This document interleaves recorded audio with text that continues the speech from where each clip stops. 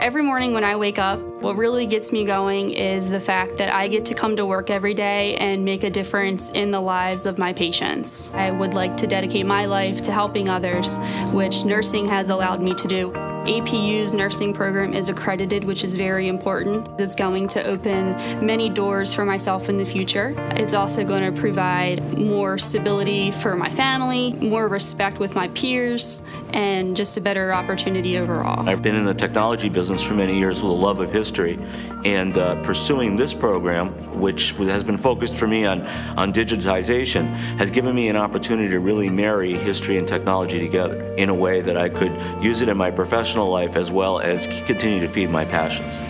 The volunteerism that the school promotes, the networking, the involvement with the, uh, the different clubs and honor societies, um, you, you're really kind of almost forming a giant family because you never know when one of your fellow students is going to be in a position to, to hire you or they could be in a position to help you. So it doesn't end with your graduation. I mean, I think it's a lifelong commitment with the school.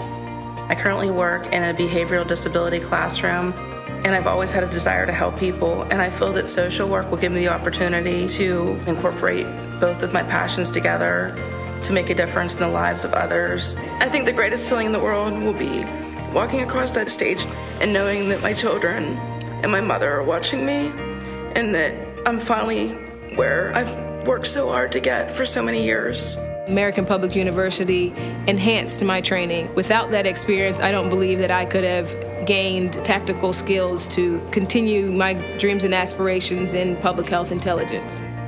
I started a nonprofit called Rebuilding Health. We had a um, big earthquake in Nepal, that's where I come from. So that was the time when I could really apply what I've planned with my instructors. So I'm really thankful to the instructors for helping us so that at least we were prepared for the worst. So that way I could give back to my community in true sense.